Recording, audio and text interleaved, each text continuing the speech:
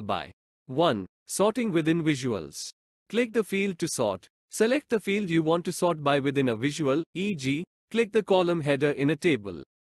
Choose sort order. Click the sort icon, up, down arrows, to sort in ascending or descending order.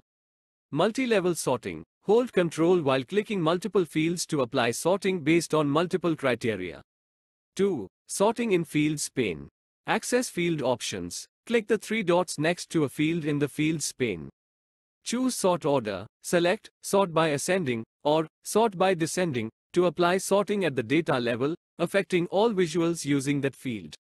3. Sorting with DAX measures. Create a custom sort order. Use the RANKX or TOPN DAX functions to create measures that define custom sorting logic, allowing for more complex sorting scenarios.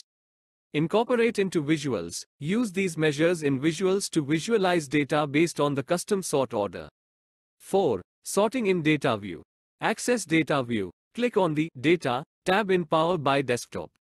Sort columns. Click on the column header and choose the sort order to apply sorting directly to the underlying data table.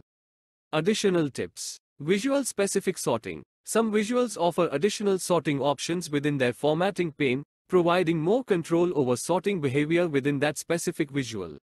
Custom sorting. For advanced sorting scenarios, consider using DAX measures or calculated columns to create custom sort orders based on specific criteria or calculations. Sort by multiple columns. Use DAX functions like CONCATENATEX or ADD columns to concatenate values from multiple columns, enabling sorting based on combinations of fields. Remember, sorting in Power BI is applied dynamically, so any changes to the data or filters will automatically update the sorting accordingly.